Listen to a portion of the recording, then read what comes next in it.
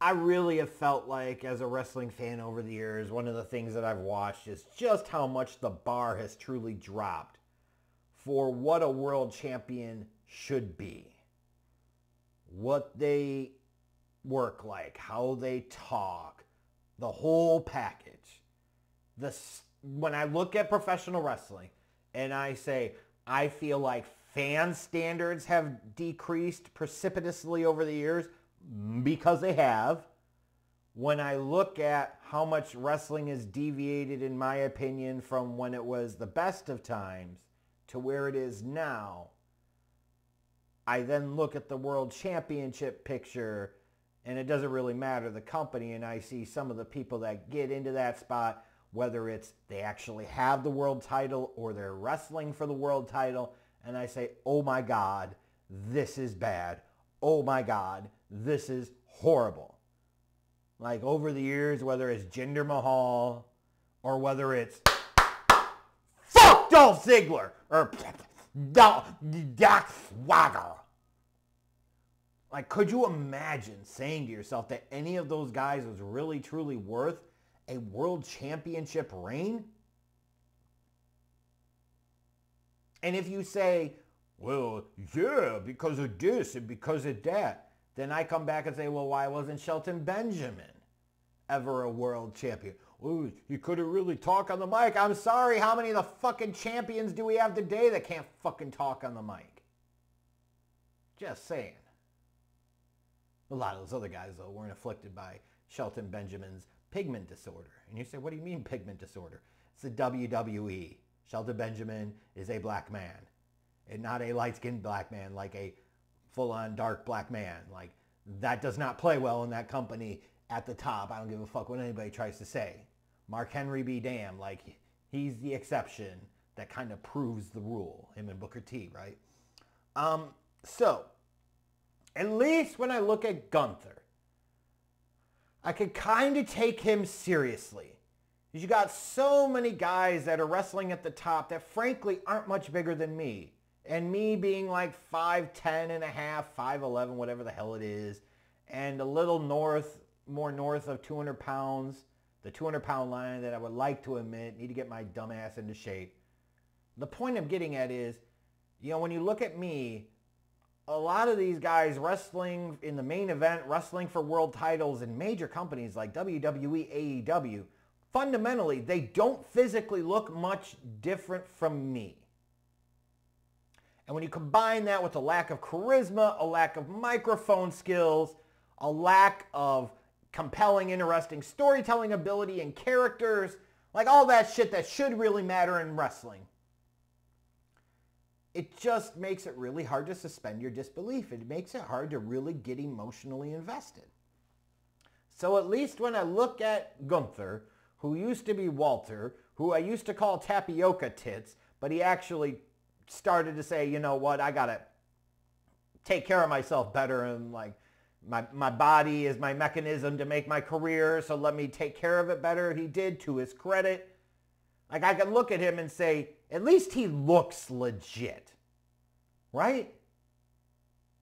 At least he looks legit. But we get to this place of not everybody needs to be a damn world champion. Not everybody is world championship material. And I know there are a lot of people that think that Gunther is world championship material. To which I say, humbug your ass! I don't know about any of you, but when I look at a guy being a world champion, a face of the company, I want him to be, oh, I don't know, not fucking vanilla! Not boring as shit. And I don't give a fuck how physical Gunther is in his matches. He is fucking boring as shit. All the time and years that he surely invested in working on his fucking chops and technical moves and everything else, he should have spent on goddamn acting classes and on promo school. There is no charisma there. And even when you talk about presence, like yes, big guy physically looks more like a traditional main event guy, but somehow doesn't feel like a traditional main event guy.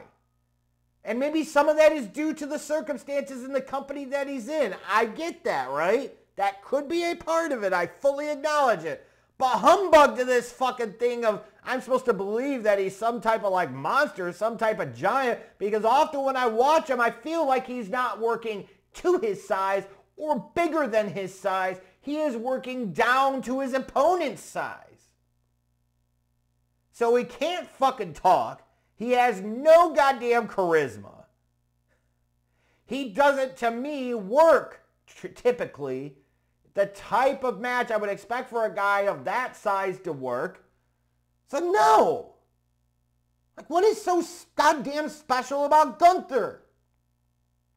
As to me, he's a perfect example of, okay, you think he could really go into the go in the ring. And then what else? He can do moves. He can do submissions. Okay, and what else? Certainly the WWE has a history of guys that weren't very great on the stick that were world champions. But as much as I didn't like Bret Hart back in the day until 1997, he became the whiny pissy face of Team Canada. I'm like, I fucking believe that. He's a crybaby and I fucking know it and I love it and he started burying shit on the mic. I'm like, sign me up for that shit. But you know what Bret Hart could do? He was a phenomenal storyteller in the ring. He could make you believe. He made his shit look crisp and fluid and legit. So as much as I like to talk about, you put an S in front of him Hitman, you got my exact thoughts on Bret Hart. The reality is, is that Bret Hart compared to 99% of the industry today, he does laps around them. He does circles around them. He makes them look like a fucking joke. Perhaps an unfair comparison for a guy like Gunther, but again, a world champion to me should be like the biggest stars, the best of the best. These are the guys that could talk you into the fucking arena. These are the guys that make you stop whatever the fuck you're doing and saying, I gotta watch that, like back in the day, a Hogan, a Savage, a Warrior. In the late 90s, early 2000s, the guys like Austin, Rock, and down a level, you go Taker. Like you pause what the fuck you're doing when you see them on the TV. Those are world championship material type of guys. But Gunther isn't that type of dude. And I don't care how long you have him run with the Intercontinental Championship. If anything, you've gotten this long with him being a mid-card champion. To me, that tells you that that's the right level for him. He belongs there. Like even when you try to picture who he would feud against in the current WWE, him against Roman Reigns in a full feud feels fucking odd. Seth Rollins, ugh. Like seriously, go through the different names. Cody Rhodes, CM Punk, Randy Orton. Yeah. If a guy's going to be a world champion, he's got to be able to work with others and help draw some eyeballs. I don't see how fucking Gunther does that. I don't even know that I see Gunther as the type of guy that works with the guy that draws the money. No. I think of him as a solid hand that you have somewhere smack dab in the middle of the card that brings a different style of wrestling that gives you some balance that you could put other people with either when they're coming down from the top, they need somebody to work with, or somebody they're trying to elevate to that next level. But Gunther is a world champion, fuck that.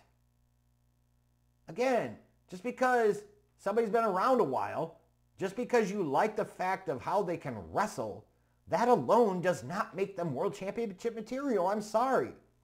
And if somebody like a Gunther doesn't like that, then grow a fucking personality, take some acting classes, learn how to cut a goddamn promo. Then we can talk. But we've lowered the bar way too much on who could be a world champion. And I realize in part that's because the talent's not that great in the business and a lot of degrees it absolutely isn't, right? But damn it, that doesn't mean that the standards have to completely go the fuck away. Now there are much worse choices for world champion than Gunther. I will totally concede that point. Like him being a world champion would not be the thing that would make me rage above, above all else. But he's the type of guy that I can see people now talking about he needs to be a world champion. And I just think that shit's crazy. Humbug that shit. Humbug your ass. He's just fine where the fuck he is in the mid card. That's where the hell he belongs.